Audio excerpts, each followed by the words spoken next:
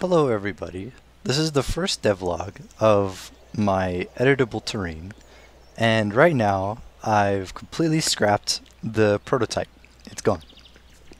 And uh, I'm rewriting it in Lua. As of now, you can't collide with the terrain at all.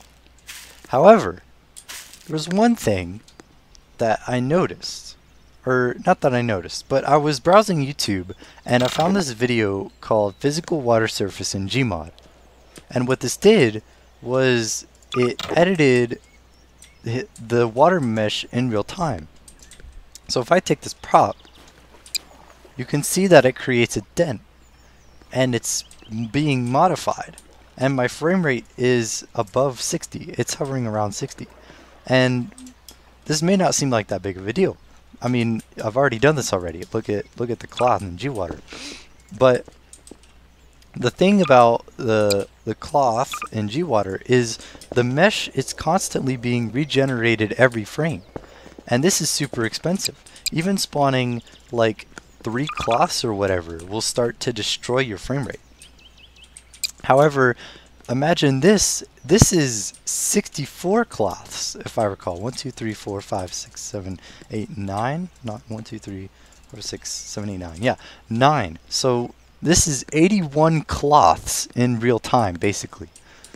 And this is just, it's crazy. It's crazy.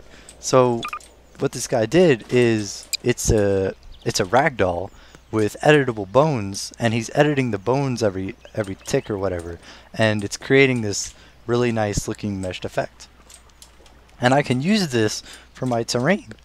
In I can have editable um, mesh terrain in real time.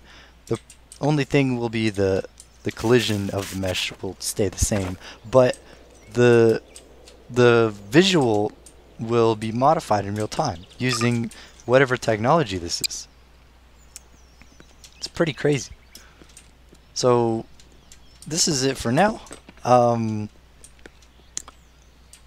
uh, I will probably. Uh, I hope the guy is okay with me using his model, since I don't. I don't actually know how to model.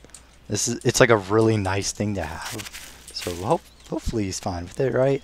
I won't reuse his code. I'll just. I'm just gonna use the model, but you know. You know. Whatever.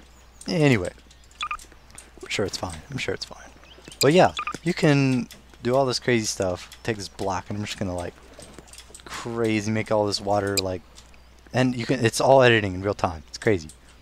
So yeah, that's it for now. Uh, I will see you in hopefully in the next video.